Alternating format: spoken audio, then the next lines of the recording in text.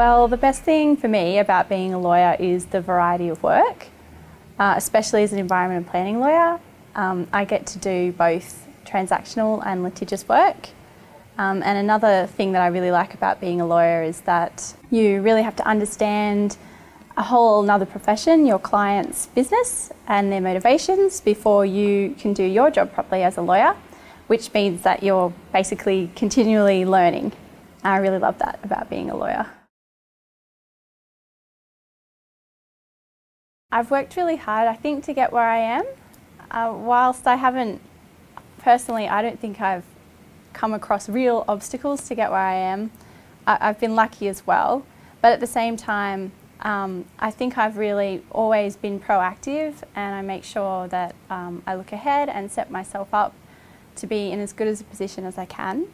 And because of that, I've had some really fantastic opportunities. Something I am continually working on, though, I think, and probably all young lawyers are, is how to do the best job you can at work and for your clients whilst at the same time giving enough time to your family and your friends and also to maintain you know a certain level of health and fitness for yourself and for the people around you I think it's really important.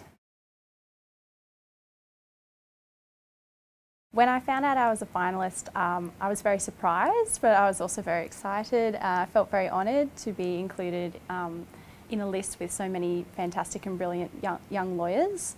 Uh, when I found out that I was a finalist, it was actually a Friday afternoon, which was a great time to find out because obviously it was the end of the week. And when I found out, my supervising partner actually came over and gave me a huge high five, which is very cute because it was very out of character. She was very excited and uh, she also went and um, got a bottle of champagne which we all shared amongst my team so that was really lovely as well.